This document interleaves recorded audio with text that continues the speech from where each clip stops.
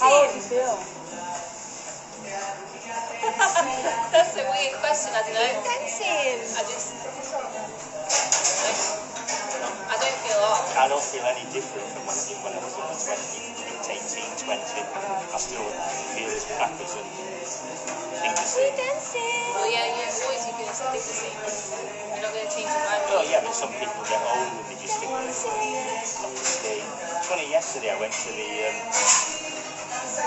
went to the Mandy and I know and Peter and the school uh, they go and uh, the son was there, so they went off to get something to eat after I'm not going to.